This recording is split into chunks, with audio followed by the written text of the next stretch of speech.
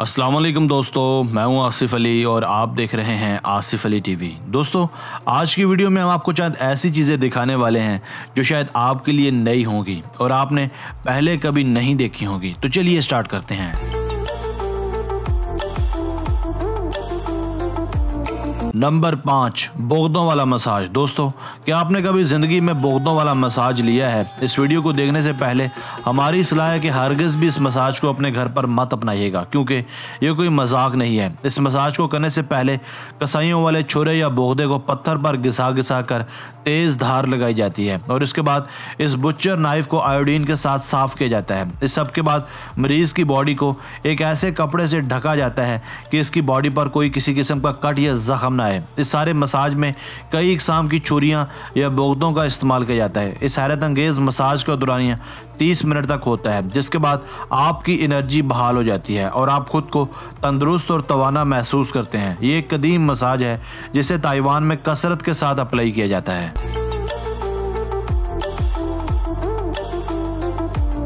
Number چار، snack ان ٹوٹائز دوستو، کیا آپ نے کبھی ایک زہریلے سانپ کو کچھوے کے خول میں گھسے دیکھا ہے؟ اگر نہیں دیکھا، تو آئیے ہم آپ کو دکھاتے ہیں۔ کچھوا عموماً ایک شریف النفس جانور ہے، جو کسی سے الجھنے کی بجائے اپنا سر اپنے اندر لے جاتا ہے اور خطرہ ٹلنے کا انتظار کرتا ہے، کیونکہ کچھوں کا خول بہت مضبوط ہوتا ہے۔ اس سانپ کی جب شامت آئی، تو اس نے کچھوے کو اپنا لنچ بنانے کے لیے بدقسمتی سے اس کے خول میں گھس لیا۔ اور پھر کیا تھا؟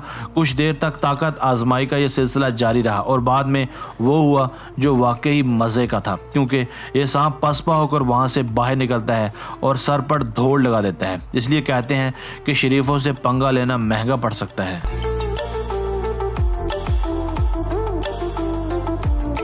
نمبر تین پاور لائن مینٹنس دوستو الیکٹریشین ایک ٹف جاب ہے۔ اسی طرح سے مین پاور لائن کا کام اس سے بھی زیادہ ٹف اور رسکی ہے، کیونکہ اس جاب میں چھوٹی سے چھوٹی غلطی بھی آپ کو کہاں کا کہاں پہنچا سکتی ہے۔ اس وجہ سے اس کام کو کرنے کے لیے آپ کا ماہر اور دلیر ہونا بہت زیادہ ضروری ہے۔ ان مین لائنوں کی اونچائی زمین سے غیر معمولی طور پر زیادہ ہے، اس لیے ان تک پہنچنا بھی ایک فن ہے۔ بعض اوقات لائنوں میں ایک سے زیادہ نقائص ہوں تو آپ کو ان لائنوں پر اترنا بھی پڑ سکتا سکتا ہے ان لائنوں پر بیٹھ کر نیچے جھانکنا بلا شبہ بہت زیادہ ڈینجرس ہے۔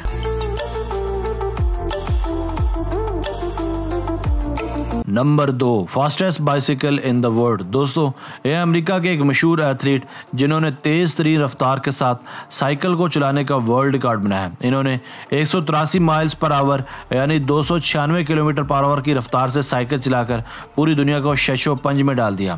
ڈینیس ایک چوبیس سالہ آف روڈ ماؤنٹین سائیکلسٹ ہیں، جن کے نام اور بھی بڑے بڑے ریکارڈز ہیں۔ انہوں نے اس سپیڈ کو ایک سپورٹس کار کی مدد سے حاصل کیا تھا۔ اس کار نے سائیکل کی سپیڈ کو دو سو نوے کلومیٹر پر آور تک پہنچا دیا، جبکہ باقی پانچ کلومیٹر کی رفتار خود ڈینیس نے اچیو کی تھی۔ اب آپ سوچ رہے ہوں گے کہ ایک سائیکل اتنا تیز کیسے بھاگ سکتا ہے۔ ہم آپ کو بتاتے چلے کہ اس سائیکل کو لائٹ ویٹ کاربن سے بنایا گیا تھا اور اس میں ان گیئرز کا استعمال کیا گیا تھا جو موٹر سائیکل میں لگائے جاتے ہیں۔ جب آپ اس سائیکل پر ایک پیڈل ماریں گے تو آپ چالیس فٹ تک آگے جائیں گے۔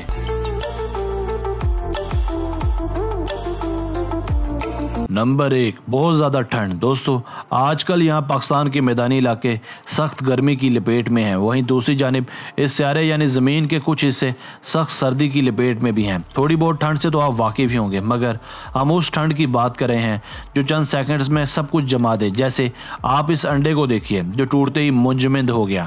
مجھے یقین ہے اسے جمنے میں سیکنڈز ہی لگے ہوں گے۔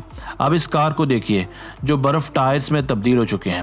ان کاروں کے شیشوں پر برف کی ایک طے بن چکی ہے اور یہ آبشار بھی مکمل، منجمد اور جم چکی ہیں۔ امریکہ کے کچھ علاقے اب بھی تیز ترین ٹھنڈ اور ہوا سے گھرے ہوئے ہیں۔ کہ آپ بھی ان علاقوں میں جانا چاہیں گے؟